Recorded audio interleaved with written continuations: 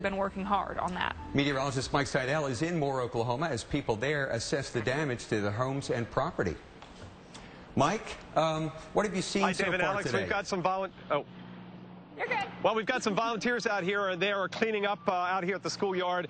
Uh, this is Shahada Carey. We've got uh, Corbin Rhodes and Shay Morris all out here, and they put it upon themselves uh, to come out after every tornado, and you've been through all of them since 99. Yes, sir. I was a senior uh, at Moore High School in 99 and lived about two blocks over from here.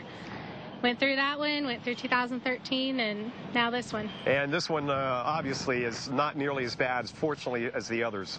Absolutely. It's it may have been weaker, but it still hits us all the same. It's still our neighbors, it's still our community, it's still the playground that our kids can play on. So it may have been weaker, but it, it still impacts Yeah, us. it still really impacts the area.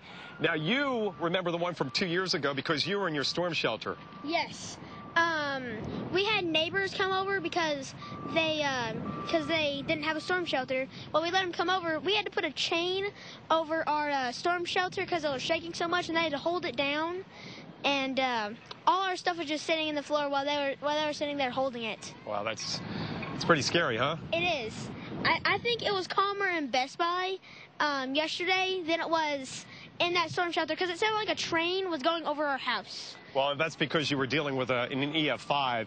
Yesterday's uh, tornado was much weaker. Yes. How, how about you, Shahada? What do you uh, take away from this one and uh, being out here today, uh, again, helping your friends and neighbors? Um, I just always want to help out the community, and I think it's important that if your community is uh, damaged like this, to come out and help your your neighbors and your friends and your family. Yeah, it's it's great to ever see everybody show up on Yeah. a even on a day when a lot of folks are working, they'll take a day off. Yeah, I, I'm always amazed to see how many people are stepping up on Facebook and inviting you to come out and help the community just clean up a little bit. Every well, bit helps. Yeah, that's true. We want to thank Shahada Carey, Shay Morris, and Corbin for your great story. That's uh, one you'll remember for the rest of your life, right? Yes. There you go. Dave and Alex, some great volunteers out here cleaning up the schoolyard.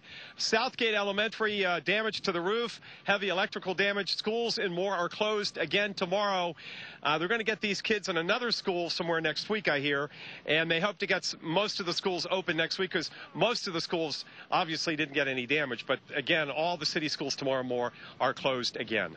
All right. Thank you, Mike, and uh, thank your guests as well. That really helps bring it home. Absolutely. To hear from the people who live there. Even the youngest ones, you know, they're going to Yeah. get out there and they're going to help because this is uh, what it is to be a part of that community. Absolutely.